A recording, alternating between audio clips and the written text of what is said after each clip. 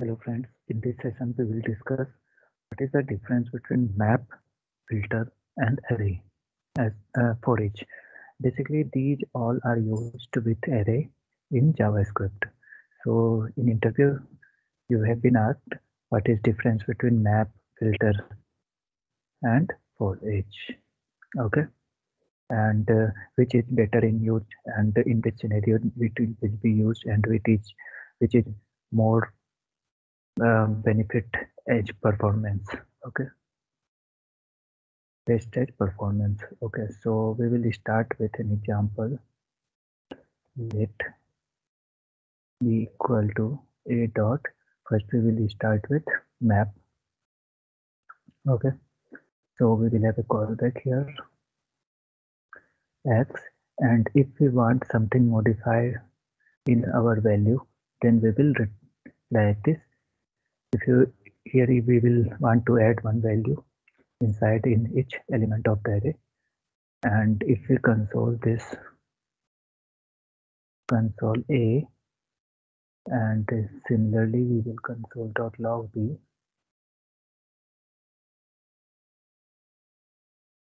Similarly we will console log b. So you can see the difference in A, first one is consoling the A. The A is same, whatever is the we have been in starting and inside B, we have the value incremented one in each value. Okay, that means 2 plus 1, 3 plus 1, 1 plus 2, 2, 3 plus 1, 4. Okay, that means map is used to modify your each element value okay. And map basically returns the new array. Okay. New array with this operations whatever you have been passed.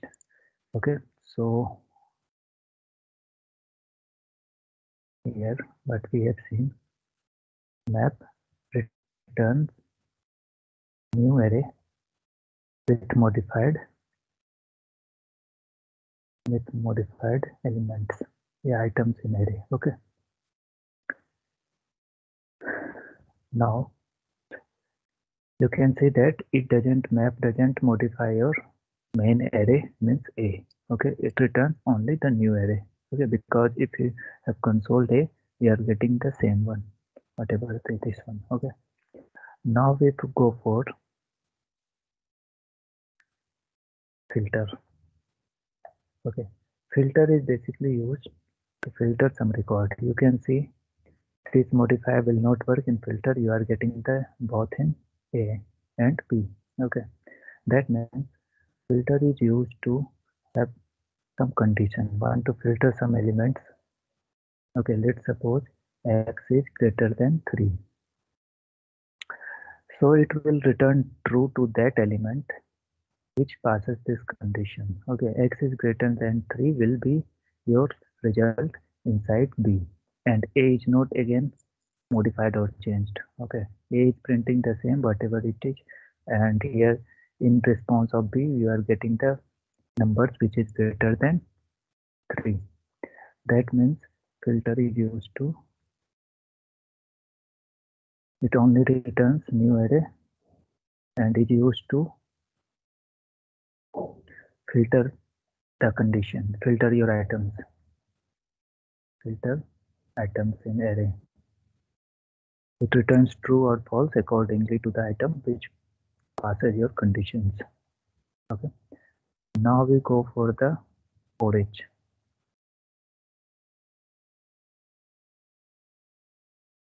Okay. You can see in for each we are getting undefined in B and A is also not changed and inside for loop in this loop you, you can do anything like uh, okay. If you want to console write console.log which items here you can do something like that okay.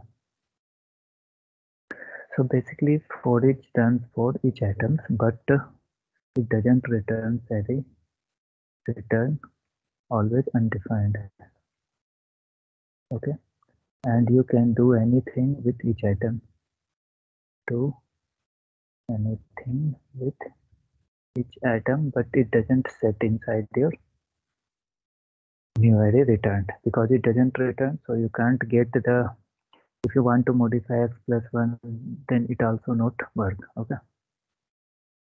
That means for each returns undefined and you can do anything, whatever with you want to do with your element. You want to do check all calculation, sum, whatever the things. Okay. And one more thing we will discuss here is reduce reduce basically return whatever you want okay it also iterate on the array okay so you can do reduce basically reduce has some parameter take some parameter. You can have here you can see on it. So reduce has four parameters. Previous value current value current index and array of number okay. So basically it takes two parameters. Uh, we will take two parameters for the example previous and current. And what we will do like we want to transform and we want to get some added value okay? So what will will return here? Return previous value plus current value. So you will get the sum of this all elements inside the array. That means in reduce you can return whatever you want to do okay? If you want to do uh, something which uh, have to compare like with what have to get the maximum value. If you want to get maximum value then you can compare it here. Like uh, if uh, previous value is less than current value then return current value. If you have to get maximum else return previous value okay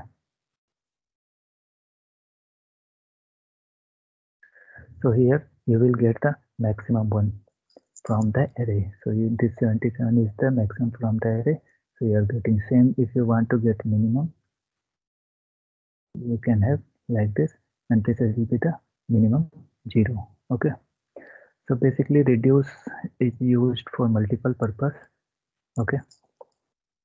It, it also iterates on the array for each item, but it has benefit that you can have your previous item with him if you want to return previous item then you will have return as a previous item as well. So you can easily compare with previous, sum with previous, minus with previous, multiply with previous.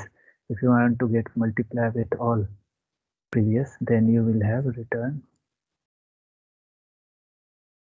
previous into current value. Then you will be zero because there is zero inside your array. If there is no zero, then you will get some value if you pass with here 1 okay then you will get definitely some value so a reducer uh, reduce returns anything whatever you want to do inside this